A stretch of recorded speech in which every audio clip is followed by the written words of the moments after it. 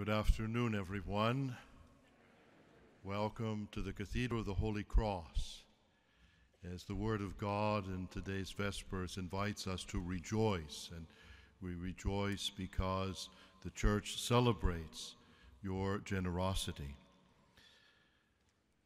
I welcome you to this cathedral on the second Sunday of Advent to pray this evensong and to bestow the Cheverus Medal Award on more than a hundred of our brothers and sisters whose tireless and selfless service in this archdiocese have contributed so much to the building up of the body of Christ.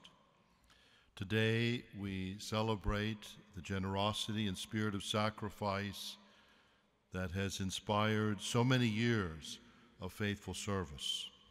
Today we honor a cross section of men and women from all over the Archdiocese, from every linguistic and ethnic group, whose years of service, rendered with great humility and out of the limelight, redound to the good of the whole Church.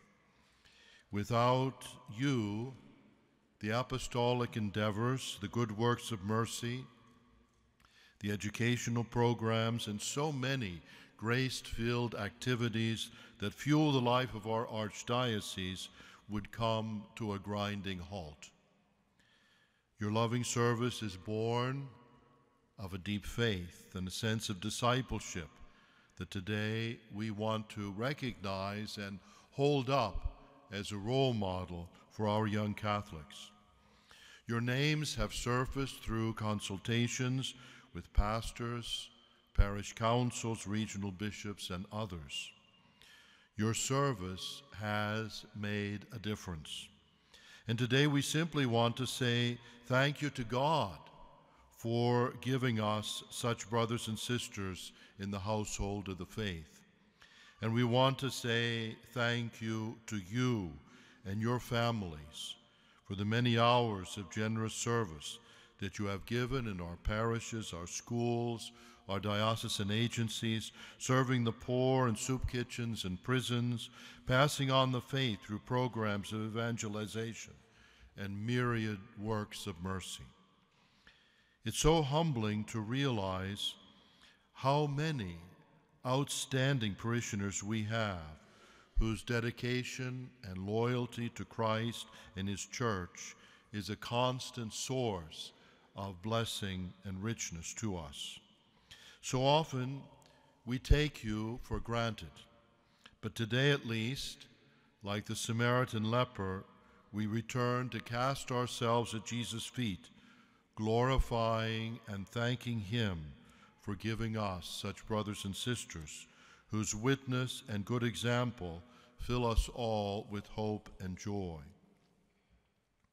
This year, our Cheverus Medal celebration takes place just after Thanksgiving, very fittingly, and at the beginning of Advent, a season of hope and expectation. And your goodness is a source of our hope. One of the first Advent figures to emerge in the season is always John the Baptist, calling us to an ongoing conversion. Indeed, our life of discipleship begins with our baptism, by which we are incorporated into Christ and become connected to the Lord and to one another with bonds that can never be broken. The Diocesan Award is named for our first bishop, a man who was exiled from his native France after the French Revolution, having been imprisoned for not swearing an oath that would have compromised his priestly vocation. God's providence brought him here to Boston, where he labored tirelessly with the immigrant Catholics and the Native Americans who made up the church family. The entire Catholic population of New England in those days could have fit into this cathedral.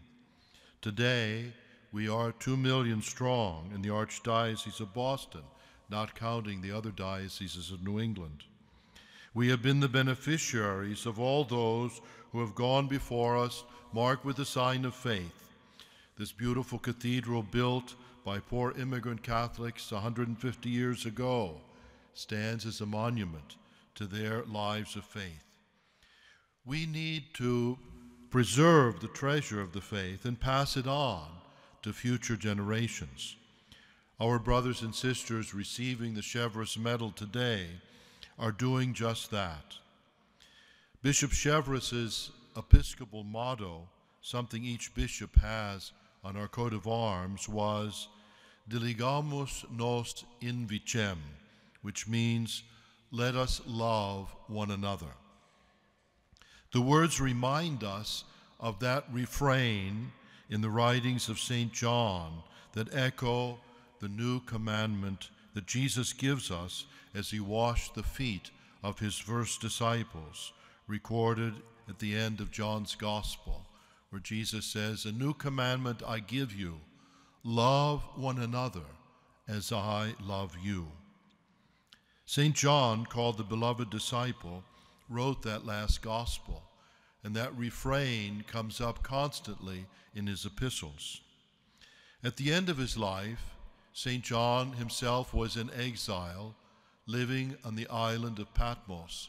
He lived in a cave, and each Sunday the faithful would carry him down to the city so that he could preach at the Sunday Eucharist. And each Sunday, St. John the Apostle would give the same sermon. I'm sure that this would be very disconcerting to a lot of people, but if your pastor is St. John, you're not going to uh, complain, I guess. But finally, someone got up enough courage to say, John, why are you always preaching the same sermon? And you know what St. John told them? He said, I simply repeat what I heard Jesus saying over and over and over again when he walked with us in Galilee love one another. This is the beautiful motto of Bishop Cheverus. It's a challenge for all of us to live a life of discipleship, but it's this love that we have for our brothers and sisters in the church that is a sign of hope and an invitation to others to follow the Lord. I often share with people that once I was greeting people at the door of the church and a father appeared with this small child. And he said to the child, Do you know who this is? pointing to me. Now, I was waiting for the usual Santa Claus response. but the kid said, This is the communion guy. So often children think that I'm Santa Claus, and I always tell them, you know, that they shouldn't be disappointed because although I'm not Santa Claus, I am a bishop, and Santa Claus himself was a bishop. The day after tomorrow is another great Advent feast, the feast of St. Nicholas, Santa Claus. Being an Irish infiltrator in a German seminary, I learned a lot about St. Nicholas and how important he is as a figure of Advent. In the seminary, it was the day we gathered for gift givings and put up the Christmas trees and sang the, the Christmas carols in German. St. Nicholas is such an important figure of Christmas. Pope Benedict, himself a German, who I'm sure had many St. Nicholas celebrations, once said that St. Nicholas is so significant because in the history of the church, he's the very first saint to be canonized who was not a martyr. In the first three centuries of the church, people who were venerated for sanctity were either figures from the gospel stories or those early martyrs who laid down their life in witness to the church's faith in the resurrection. But in the person of St. Nicholas, people recognized another way to witness to the church's faith. His service, his charity, his goodness, his kindness, his concern for the poor, his compassion. they said, This is just as compelling as those martyrs who died in the Colosseum. And so he was raised to sainthood in the church. One of the interesting facts of St. Nicholas's life is that he was one of the bishops at the Council of Nicaea in 325 that wrote the Nicene Creed that we pray every Sunday at Mass. But for Nicholas, it wasn't just a list of doctrines, it was a beautiful exposition of God's love for us, of the history of salvation, a God who loves us so much that he sent his only beloved Son into the world. And it was that faith in God's love, that faith in the incarnation, the Word made flesh, that transformed Nicholas into that kind of a disciple whose life was a constant witness to God's loving presence among us. So I urge you every Sunday when you're praying the creed, remember it's Santa Claus's prayer, but it's also our story. At Christmas, we look at the creche and the Christmas cards. They're pictures taken from our family album. It's there that we discover who we are as Jesus' followers. It's there that we discover why we're here in this world and what we have to do with our lives. We see the fraternal love and the concern in the life of Nicholas and in the life of Bishop Cheverus. Their love for all serves as a reflection for the love of Christ and a witness to the transformative power of the Christian faith. Advent is also a time as a church when we commit ourselves to hospitality in the Gospels. During Advent, there was an old Irish custom to put a candle in the window as a sign to the Holy Family that there would be room in this home for Mary and Joseph. The Spanish people have a similar custom, a novena of Advent called the Posadas, where they relive Mary and Joseph looking for a place so that Jesus can be born. And it's almost like our caroling. They go from house to house singing these songs, asking for lodging, asking for posada, as it's said in Spanish. In the songs, we'll see it's Mary and Joseph. We're looking for a place to stay. And the people inside sing back, Go away, there's no room. And then Mary and Joseph said, But we're looking a place for Jesus to be born. And the people say, Well, why didn't you say so? Come on in and we'll have a party. They're changing the history. At Bethlehem, there was no room at the inn. But in Advent, we're invited to change that history, to make room in our hearts, in our lives, for Jesus who comes in the humility of a little child, for Jesus who comes into our lives in the form of a person who is suffering, a person who is sick, a person who is homeless. Advent is such an important time for the church because it's a spiritual preparation for Christmas so that we can rescue Christmas from being just a sentimental and materialistic secular celebration.